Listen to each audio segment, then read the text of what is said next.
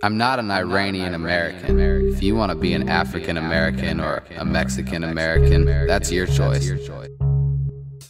I'm a soldier of Iran. You have the power to do with me as you will. My soul is pure.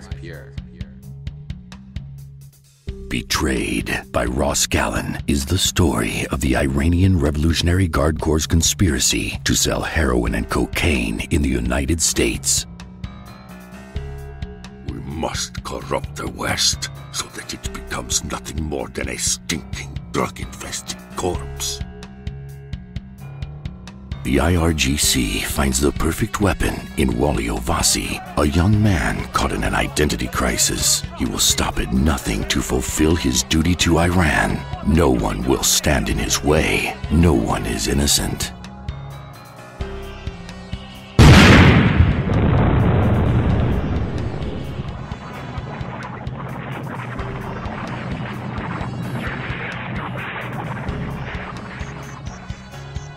Betrayed, a spy fiction thriller by Ross Gallen. RossGallenAuthor.com. Now available at Amazon.com.